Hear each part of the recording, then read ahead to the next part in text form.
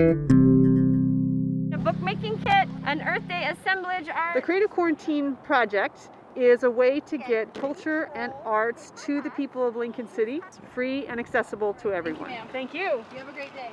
The Lincoln City Cultural Center has a mission to provide enrichment and arts and culture to the people of Lincoln City.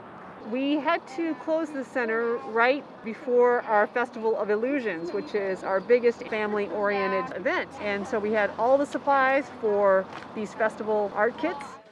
What we're doing is creating art kits that have materials in them, but we're also inviting them to post pictures of their artwork on our Facebook page.